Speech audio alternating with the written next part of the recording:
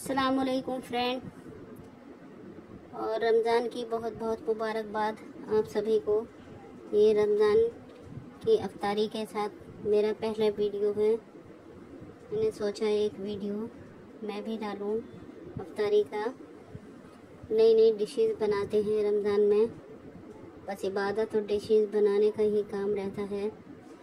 आप लोग बताइएगा आप लोगों की कैसे रमज़ान जा रहे हैं कमेंट करके प्लीज़ और जो मेरे चैनल पर पहली बार आए हैं, मेरे चैनल को सब्सक्राइब करिएगा, लाइक करिएगा और एक प्यारा सा कमेंट भी करिएगा और बेल आइकन ज़रूर प्रेस करिएगा रिक्वेस्टली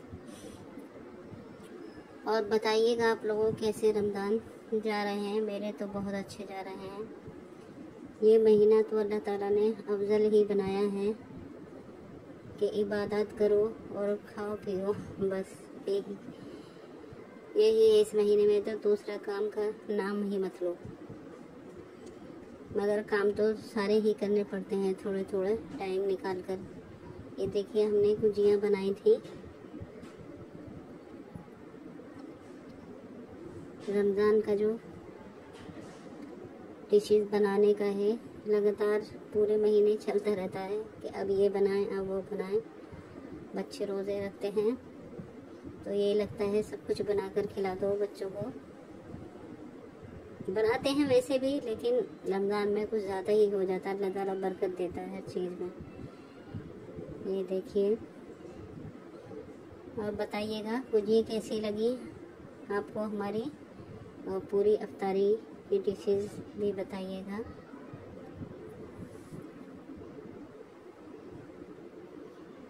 और बताइएगा वीडियो। में कमेंट करके कि वीडियो मेरी कैसी लगी और रमज़ान और मैं आपको एक दुआ बताती हूँ, इंशाल्लाह, तीनों अशरे की।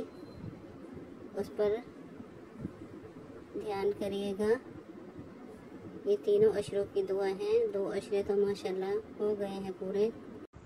पहले अशरे की दुआ अल्लाहुम्मरहमनी या अरहमर्राहिमीन दूसरे अशरे की दुआ अल्लाहुम्मगफिरली जुनूबी या रब्बल आलमीन। तीसरा अशरे की दुआ अल्लाहुम्मतक़नी मिनन्नारी व अदखिलनी फिल जन्नती या रब्बल आलमीन।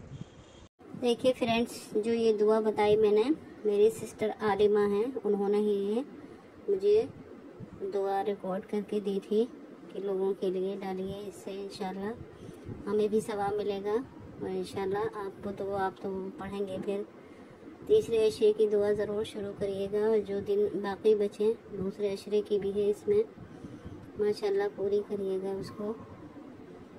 और बताइएगा दुआ कैसी लगी आपको? और पूरी ये वीडियो मुझे कमेंट करके बताइएगा और हमारी गुजी भी बताइएगा कैसी लगी। चलिए, ठीक है। अल्लाह हाफिज़। और वीडियो पूरी वॉच करिएगा।